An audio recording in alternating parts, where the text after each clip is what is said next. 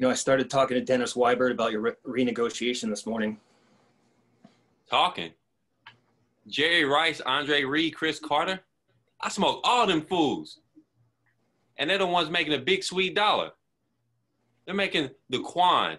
And you're talking? Quan. That's your word? Hell yeah. That's my word. You know, some dudes have the, the word coin, but I have Quan. What's the Quan? It's love, respect, community, and the dollar too. It's entire package. The Quan. Oh, good word. Towel? No, I air dry. Uh, listen, Rod, I say this with great respect for you, but those players you mentioned are marquee players. Yeah, I lost my spot here. are marquee players in this field. You know, we uh, Marquee. here's what I'm sorry, okay? This is a renegotiation. Well, we want more from them, so let's give them more. Let's show them your pure joy of the game. Let's bury the attitude a little bit and show them Wait. You want me to dance? no. I'm saying to get back to the guy who first started playing this game. Remember, way back when you were a kid, it wasn't just about the money, was it? Or was it? Was it? Do your job. Don't tell me to dance. No, fine, Athlete, I'm not an entertainer. fine.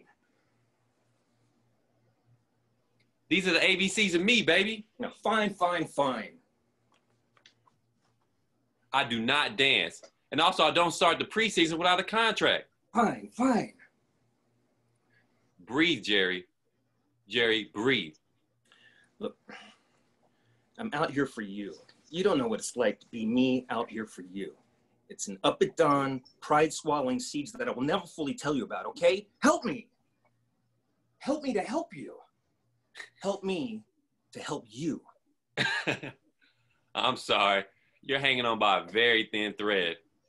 I can dig that though. No contract. Help me. I'll help you. I help everybody. That's my man. Well, I'm happy to entertain you. Help me. Help me. Woo! Now go home to your wife. What's that supposed to mean? Jerry, why are you, what are you doing here? You could have told me all this shit over the phone. How about a little dedication for an answer? What about personal attention? You don't want to go home, do you? What are you saying, Rod? Hey man, I'm just trying to talk to you. How's your marriage? You know, the whole husband and wife thing. Huh? Well, not everyone has what you have. Then why'd you get married? I'm asking you as a friend. You want an answer? Loyalty. Because she was loyal. I mean, everything grew from there. It just grew from there. That's an answer. That's the answer. It's not sexy shit. That's an answer. Tell him what he's won, Bob. A beautiful marriage. Shit. Well, happy to entertain you, as always, Rod. Hey, now, I have a question for you. Are we really friends? Why not? I mean, because friends can tell each other anything as long as they have their friends hats on. I think so. All right. I tell you why you don't have your $10 million yet. Right now, you are a paycheck player. You play with your head, not your heart. Personal life, hard. When you get on the field, it's all about what you didn't get, who's to blame, who uh, who underthrew the pass, who's got the contract you don't, who's not giving you your love. You know what? That is not what inspires people. That is not what inspires people. I mean, shut up, play the game, play it from your heart. You know what? I will show you the Quan, and that's the truth, man. That's the truth. Can you handle it? Sorry, eyes. Just a question between friends, you know? Oh, and when they call you shrimp, I'm the one that I'm the one that defends you. I don't want to be friends anymore. Well, fine. Quit using that word, Quan. That's my word. I'll see you in LA. No heart, no heart. I'm all heart, motherfucker. start. It's a good start. Um, okay, so Jared, let's start with you. Um, so how do you see this guy? What, what thing, what's going on with him? Uh, high energy, um, very prideful of himself. Yeah. Um, What does that you know, mean? What- thinks very highly of himself if, if he compares himself to Chris Carter and Jerry Rice. yeah. Anything else? Um, do you think he's insecure yes, about what? about his abilities. That's why he has to act so big. You know, the Quan, and you know, I, I got better, better stuff than they got the coin. I got the Quan. So he's trying to overcompensate. I guess one thing I'm wondering about is um, how, how does the whole thing factor with, when it comes to the money? You know, and how um, Tim says things to you like, you, you know, get back in touch with, you know, the game. Well, what about that? As far as like how I feel, Wow, I'm just wondering, what does that say about you? oh, then I'm not playing for the right reasons. Okay, so you, you you're playing. For, For what? selfish reasons. What's what? What are the selfish reasons? For money. So, do you think that? Do you think that Jerry's a good agent? No. Why not? Why would you be with him if you didn't think he was a good agent? Well, I think he's the only agent he can get. I mean, I thought that you were with some high-powered agency and you went with him because he kind of sold you on being with him. True.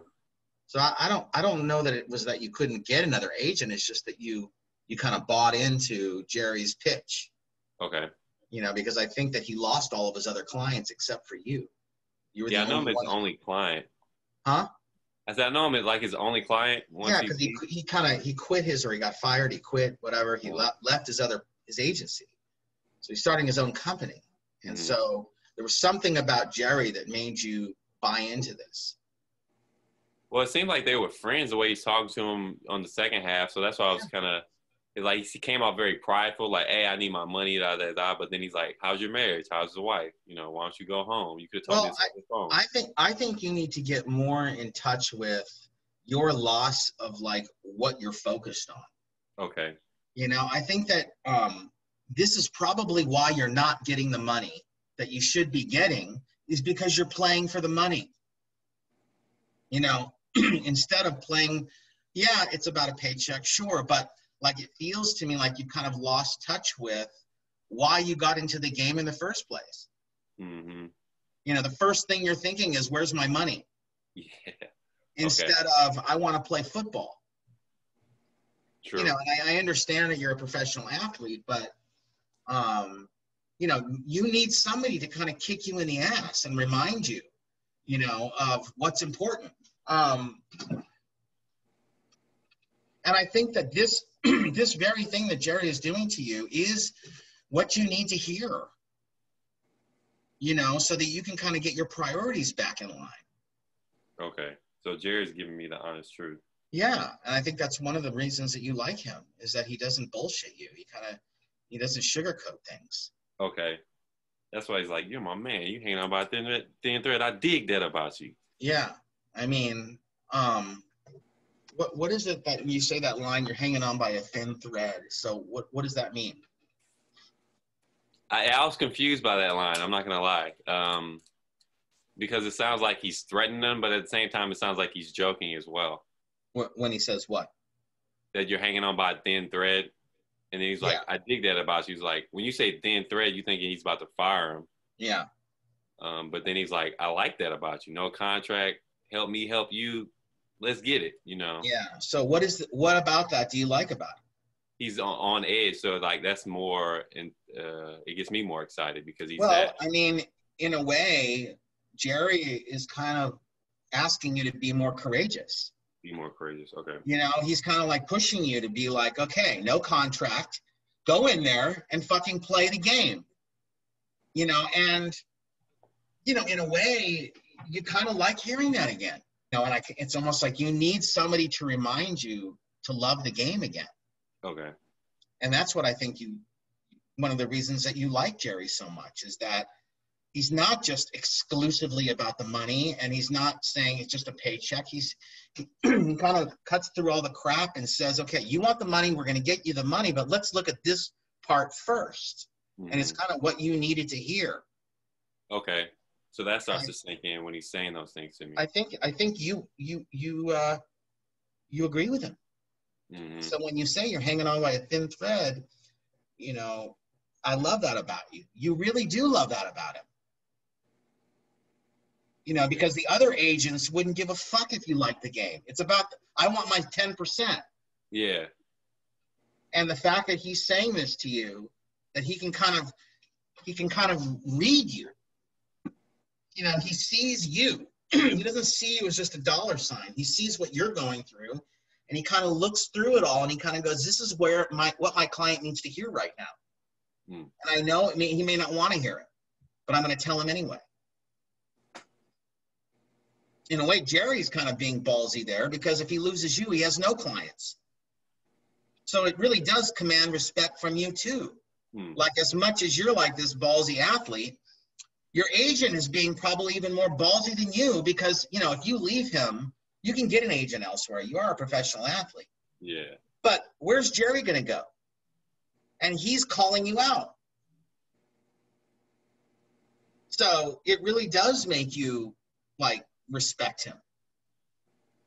Does that make sense jared That makes it, I, it put me in that place to where where I need to be at as far as I'm focused on this and the third, and then Jerry's the one that's actually really really me into what it is I need to be. Yeah. So start the scene with this sort of like arrogance, cocky, I got the shit, it's all about the money. Yeah. Until like as the scene goes on, it's like a wake up call. Okay. Yeah. That's what I was Um, thinking. Because when I was reading the dialogue, I felt that I'm like, there's a shift here with the, with the way he's talking to him. I mean, I don't think it's an accident that they have you in the shower and the guy offers you a towel and you say, I air dry. Yeah. You know? People are lucky enough, they should be paying me for this shit, yeah. you know, to see Yeah. me. naked, Yeah. You know, and so why by the way, Tim, do you understand why you offer him a towel? Yeah. Yeah, it's like a little odd. Like, you know, like you're sitting here He's talking like, to me. how, yeah, dick- he's, like he's completely naked. out, He's like, like- no, yeah, I right? yeah, but it's it's not even uh it's uh, Jared, it's not even that I aired it's I air dram, motherfucker. Yeah. You know, Yeah. don't ask me to put a fuck I don't hide anything, man. Mhm. I am who I am. Give me the Quan. Yeah. Uh anyway, so uh Tim, this this guy you're playing, he's energized, kind of like the agent you were playing from Entourage. Yeah. but he's not um tim he's not like uh he's not unstable in the same way Right. You know? So you, you gotta you've gotta be i guess more slick Mhm. you know and and and be a great salesman. Not that you're trying to you know sell a shitty car to somebody. It's that i'm selling you a rolls royce and i'm really making you understand that it really is an incredible car. And yeah i'm trying to sell it but i also really believe it so when you're talking to him you, you got to be extremely passionate extremely slick ex- you know, very, very um, on your on your game. It's pardon the pun. Totally like sharp, and I mean, uh, he he he knows his shit. He knows what to say, and I don't think he's selling. He's saying it as a pitch. I think he's he speaks from the heart. Um, you don't really want to tell him the things that you end up telling him today but it's like pushed into a corner you're going to tell him you know so does that make sense tim Yeah. No, the guy's trying. He's trying to get him his killer contract, and he's still spouting attitude or whatever, you know. So, yeah yeah you know, or at least at the beginning is. You know. i would like to see you also work on smooth you know it's very different from the other characters that we've been working on because some of the characters we've been working on have become kind of dweebish kind of like you know nebbishy loser type characters which are fun to play but this is like not that guy this is like a, a confident I don't want to say cocky, but he's a confident, really good, high powered power agent. So, you know, he's got his shit together, you know, in a way. So um, be careful because once you start getting too animated and shifty and big, you become weak. So I don't think it's an accident that they cast somebody like Tom Cruise. You know, they cast, you know, your typical leading man for that role. They needed somebody.